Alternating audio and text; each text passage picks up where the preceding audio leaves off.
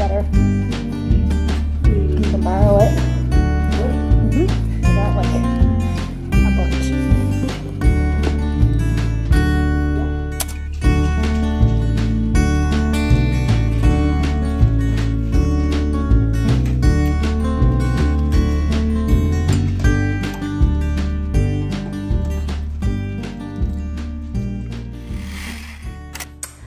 Hello there.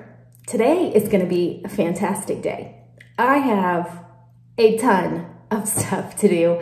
Um, we have company coming in tomorrow, and today is going to be like prep day. So I've decided, finally wised up after being here on this planet for 44 years, that it is far better to do things in advance than wait until the last minute. Who knew? so today I am um, I'm gonna be making like some desserts in advance and uh, marinating some chicken and things like that. Throwing some stuff in the freezer. I got ahead of the game last night and I made bread dough and um, put that in the freezer. And I did a slow cooker pork shoulder to make pulled pork sandwiches. So um, because we plan on doing things with our company, it's my husband's brother and his and his wife coming with their kids. And so uh, we're gonna go do some fun Florida type adventures while they're here. So I don't have time to make these really amazing scratch made meals while we're having fun. So if I take all of that time to do some prep work in advance, then there's no stress and we still eating good, y'all. we still eating good. So anyway, I gotta brush my teeth because that needs to be done. It always needs to be done, right? And I put on a little bit of concealer so that I look alive and awake, even though I really don't feel it today. And um, we're gonna go get this party started. Y'all, we're gonna trust God and chill today. That that is gonna be the theme of the day is trust God and chill. It's my reminder in big letters, big red letters. So um, yeah, let's go head to the kitchen after I take care of this and go roll up our sleeves and get this party started. All right, bye.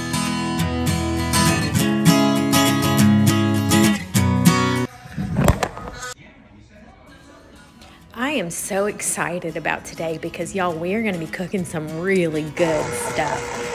We have got company coming to town and they're staying for four days. I need to have a game plan here. You always need a game plan whenever people are coming to visit. So today we're going to pull together some recipes so that we can make life a little easier and we can show our company a little extra love because our time is not divided. So let's go ahead and we're going to make some homemade bread and just be able to put this dough right in the freezer so that we can have it rise whenever we want and stick it in the oven.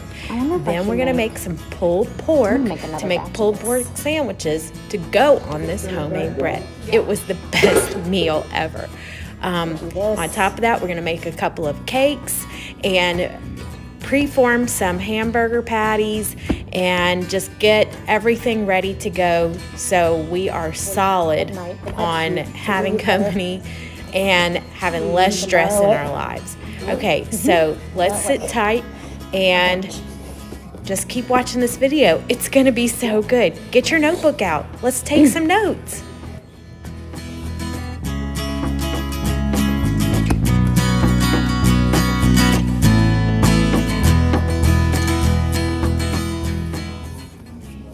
Okay, I have found the most simple and easy bread recipe that a friend shared with me, and I'm going to link it to you in the description. That is from uh, Pinterest.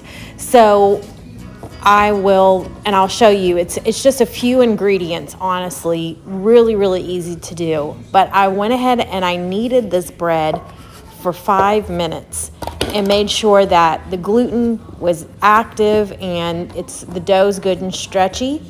Um, this recipe will make two loaves of bread. And so what you see here is I've divided it up with a pastry cutter, uh, which is also a really good shovel. And I'm gonna kind of form it into a log shape and I'm gonna wrap it in some saran wrap because this is going in the freezer. Uh, your dough is probably gonna expand a little bit even when it's in the freezer because it takes a little while for um, the dough to freeze. So even while it's still warm, it's going to expand a little bit. And that's okay. You can divide it up. The saran wrap made it really easy to get out of the freezer. So I've rolled up both of these logs of dough and I'll put it in a Ziploc bag and I'm going to title it with a uh, permanent, mar permanent marker and put the date on it because if I decide I want to let it stay in the freezer for longer than you know just for what I needed it for. If I need if I want to do it farther in advance then I know what the expiration date is on it um, and what it is in the bag because it could be pie crust or it could be pizza dough but this is bread dough. So here you go. Now I'm gonna go ahead and put this out in the freezer in the garage and I like to lay it flat so that it holds its form and it'll be ready for use whenever I need it.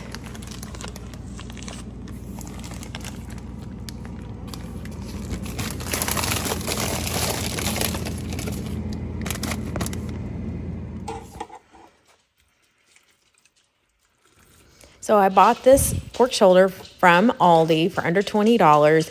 I roasted it slow in the slow cooker overnight at 250 degrees. And I just used seasoned salt, garlic, and shredded onions. And it's perfect.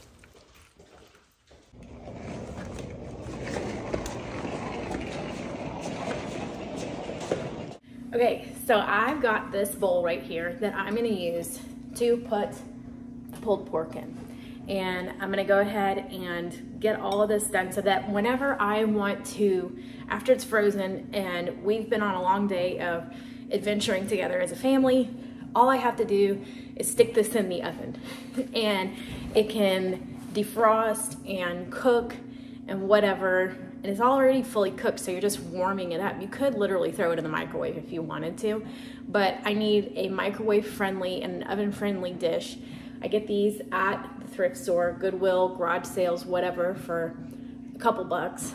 Um, and I use these to put food in the freezer with.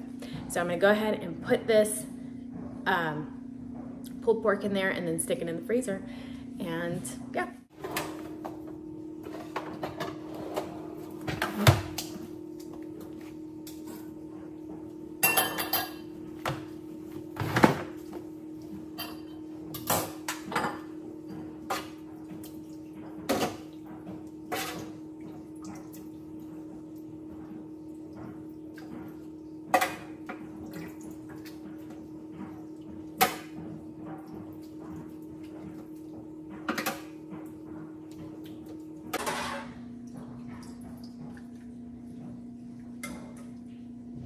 I'm gonna leave some of this, the big pieces of fat out um, because I don't think anybody's gonna really wanna eat that, but it's already done its job with flavoring the meat and making it tender and all the things. But if I see big hunks, I'm just gonna kind of leave it in this um, this broth here. If I had enough of this broth, I would probably can it, but I don't use um, pork broth a whole lot.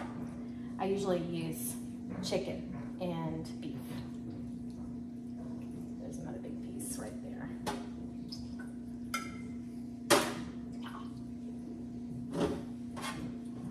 Y'all, this made a lot of meat. And I only paid 20 bucks for this big hunk of meat. And so that and with homemade bread, I'm gonna serve this uh, pulled pork with some barbecue sauce and um,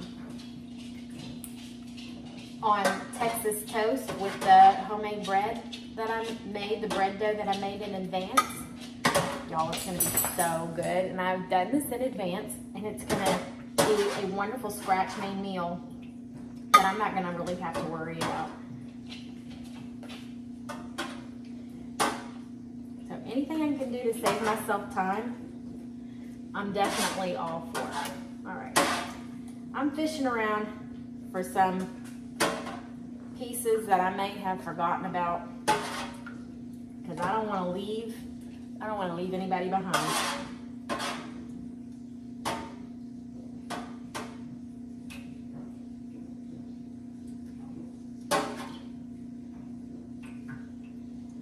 Oh, that is not a good piece. All right, see it's still making it's still like the juice is soaking down to the bottom. So I don't really need to add any more juice. I think that would be too much. So I'm gonna cover this in saran wrap and in foil and um, write what it is on the top with the date, just in case I decide to leave it in there longer.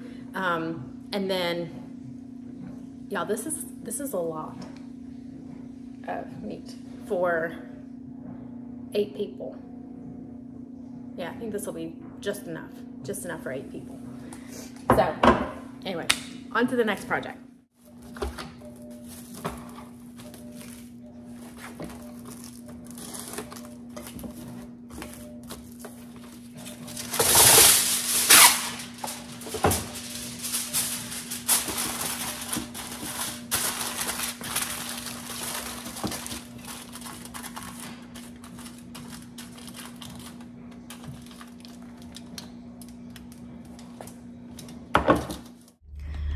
So I had to run a little errand.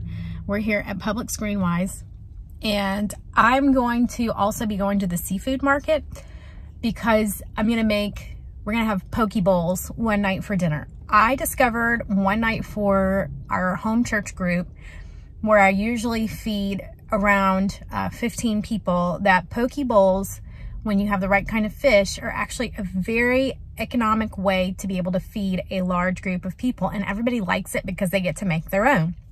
So it's very little work. You're just cubing up some fish and making a pot of rice. Basically, that's it. Um, everything else, maybe you have to dice some cucumbers or whatever, but everything else is really self-explanatory. So let's go inside the grocery store, go gather these little things, and then off to the seafood market.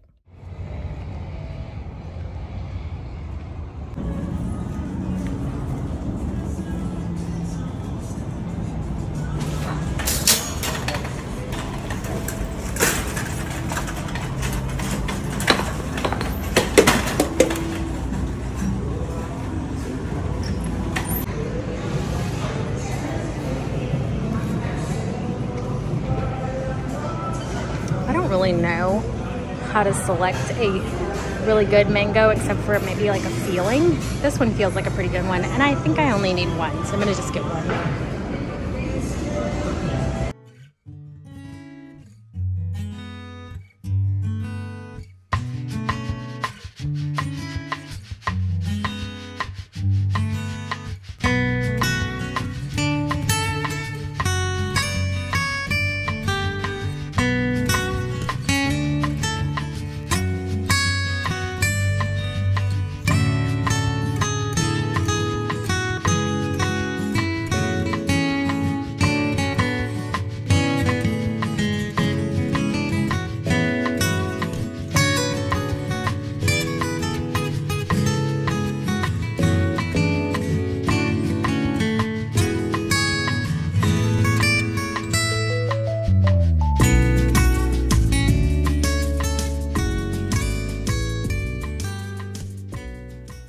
Having a seafood market that becomes your favorite is a must if you're living near the Gulf Coast. Cox Seafood has always been such a wonderful place for me to go and get fresh seafood that's locally caught and Hey, good, resourced, you? and I just absolutely love it. They are also very friendly and very accommodating. So if you're ever in the Tampa area, I suggest definitely go to visit this place. You will absolutely love it. Their market just is second to none as far as quality goes and um, just being incredibly helpful. As a girl who grew up in South Louisiana, I recommend it. Okay, so I'm gonna go ahead and start on my, I'm gonna go ahead and start on my next project, which is making two cakes, making cookie dough batter, and also making a homemade chocolate frosting. So I have two cakes. I have to make one for church tonight, and then I'm doubling the recipe because it's my nephew's birthday. It was yesterday, and they arrive tomorrow, so we're still going to celebrate when he gets here, and he's going to get a homemade chocolate cake. So might as well kill two birds with one stone and just enjoy eating a lot of chocolate this weekend. So I've got all my ingredients out that I'm going to need for this particular recipe, and so I'm going to put you guys in a place where you can see what it is that I'm doing and we're gonna go ahead and knock this out. I'm gonna go ahead and preheat my oven. I've got my recipes all written out here. I will link this in the description to the Pinterest pages that I found these recipes on. And um, so that way you can get what you need if you want to duplicate this. This chocolate cake, y'all, is so, so good. It, um, it is the most moist, rich chocolate cake from scratch, and it's very inexpensive to make. Um, and to get to, I, I just make it a, a glass casserole dish. That's it, and it comes out beautifully every single time, and it tastes better than a a box mix. So, anyway, I will go ahead and we're gonna go ahead and get started on the cake batter first. I'm gonna preheat my oven and then we'll take it from there.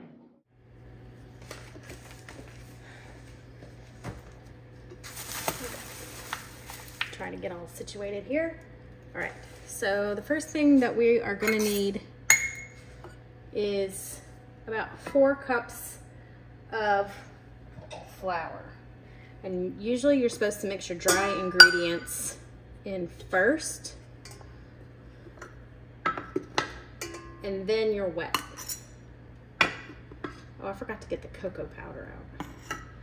Put that in second. One.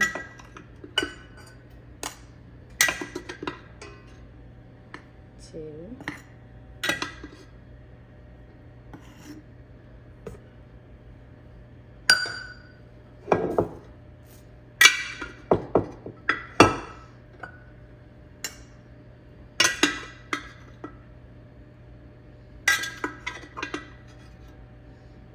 three. Um, I'm not sure we're gonna have four. I'm probably gonna have to refill this.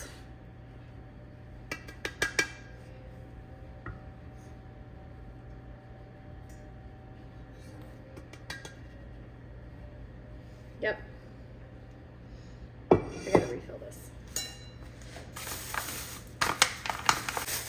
Always make sure that you have backup don't wait until you see that your ingredients are all the way empty before, if you do a lot of baking. Um, I make sure that I have several sacks of flour. I like this King Arthur brand um, flour. And anyway, so usually Walmart has a pretty good price on that. Okay, so I'm gonna level off those scoops. Okay, and now I can put my flour somewhere else. Give myself more counter space. Okay, we have, we'll go ahead and do the sugar next.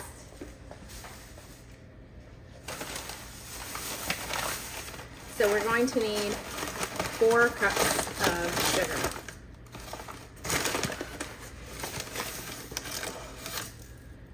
One.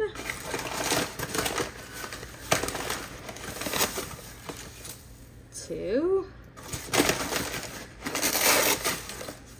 Three. Four. Okay, so we got four cups of sugar. Then we need two of the three fourths cups, which I don't even know if that is a math, but that's okay. All right, um, I'm gonna put, and I get the big, huge container. That looks to be about three fourths. Put that in there. Put that.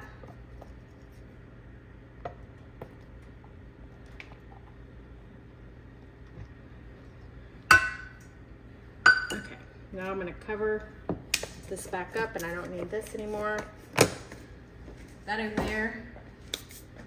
Okay, now I need, um, let's see, baking powder. This is baking powder. And I just got a brand new thing of that because the one I just had a little while ago, it was getting clumpy on me. I don't like that. All right, so four teaspoons of that. One, two, three, four. Okay.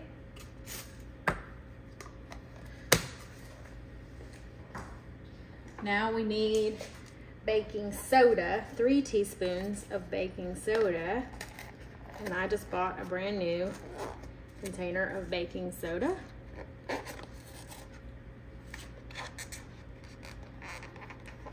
Oh, that's not gonna work.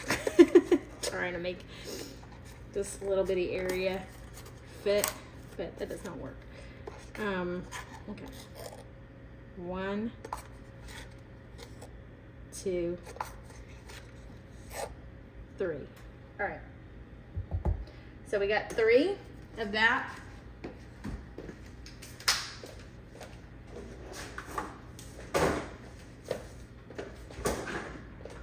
Now we need salt, just regular table salt. Two teaspoons. Gotta balance out the flavors. One, two. All right, so now I'm just gonna put on my mixer on stir and get all that kind of like just mixed together. You don't want to turn it on too high because then all your stuff's gonna go flying everywhere. All right, so that's good. Um, oh, I need eggs. Okay, so I am gonna also need two cups of milk. So I'm gonna put it back on stir. Do one cup. That's exactly a cup. Put that in there.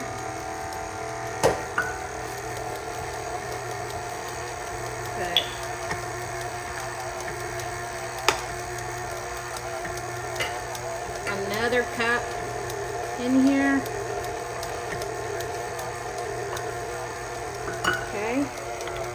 Close that up.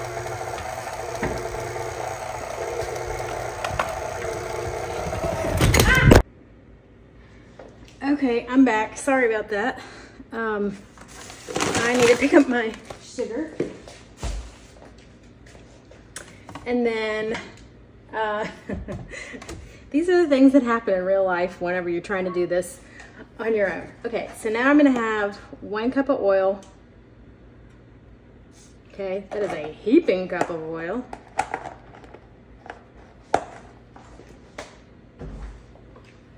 Okay, I'm gonna turn this back to stir. Gently move it.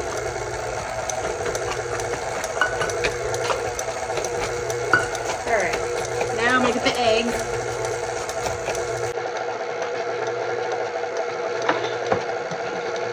Okay, we need we need four eggs. Here goes the first one. One egg.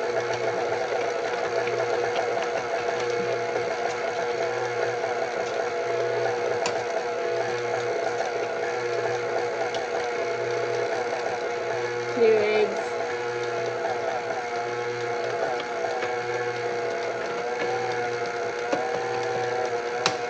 Three eggs.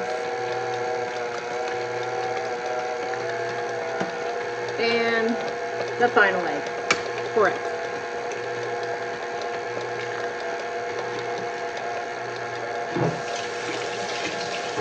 Okay. Now I need four teaspoons of vanilla.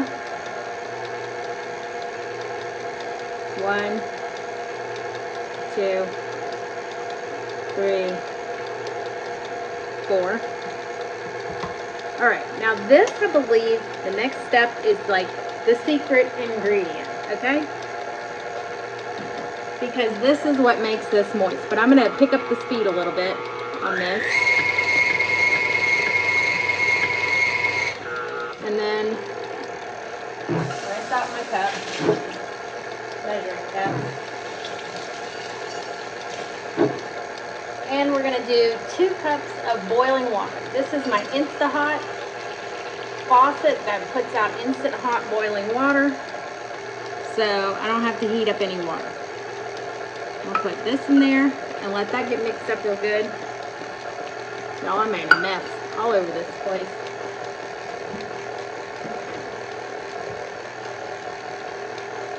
And it might seem kind of runny, this batter, but it's not. Okay? It is really, really good.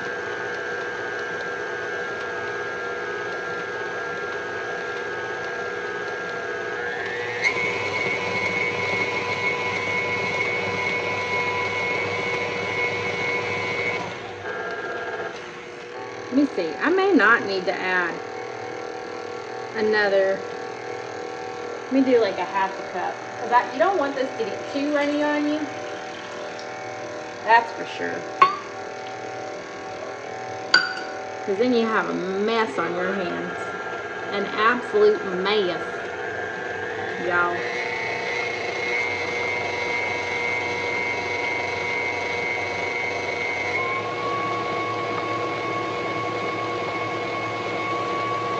So see, the consistency of this is pretty thin. It's a pretty thin batter.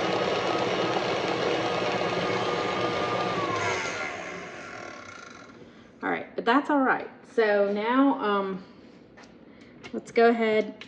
I didn't even have that on lockdown the whole time. Uh-oh.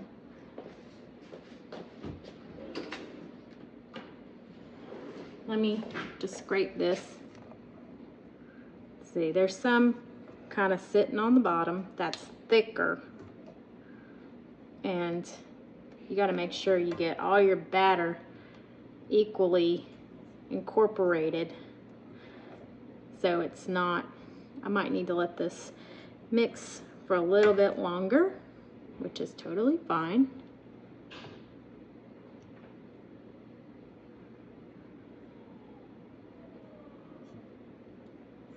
And yeah, so let me go ahead and put this in here, lock it down, throw it on. And I'm gonna clean up my mess.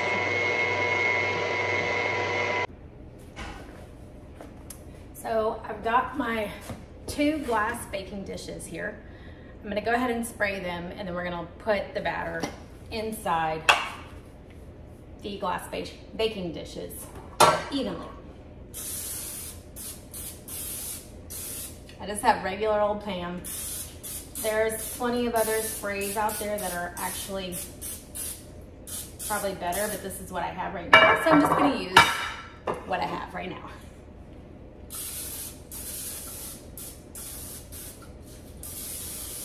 And maybe even using butter would have probably been better.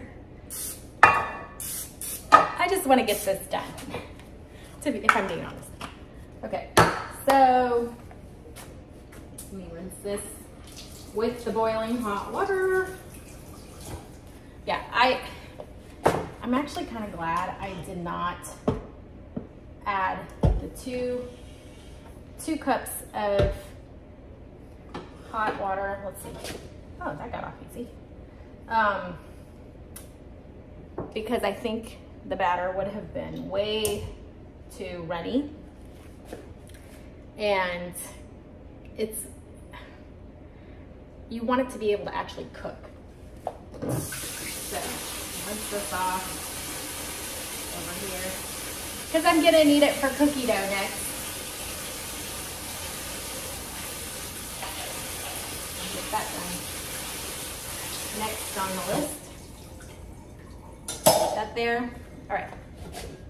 So, see if you can see that. It looks great. All right. So, I'm gonna do some in here. Doesn't that look amazing? Then some in here. Then, you know, you could probably just measure this out in a more accurate way. But I go by the rule of thumb of let's just eyeball it. Which is probably why I'm not the best baker in the world, but so far, nobody has complained about my desserts lately, so I'm like, we'll just keep going with that.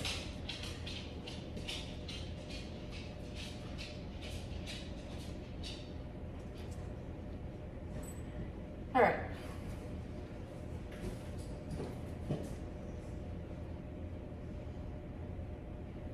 So we've got two really good cakes. They're a little off on the even part as far as distributing it goes, but I think this cake pan is shaped a little bit different than this one. So it's okay. We're just gonna go with it. Um, I've made this cake a couple of times now and it always comes out perfect. So I'm not really too worried about it. But what I have noticed lately is that one side of my oven heats hotter than the other. So I'm gonna shove them both over to the left side. So, okay, let's put them in the oven.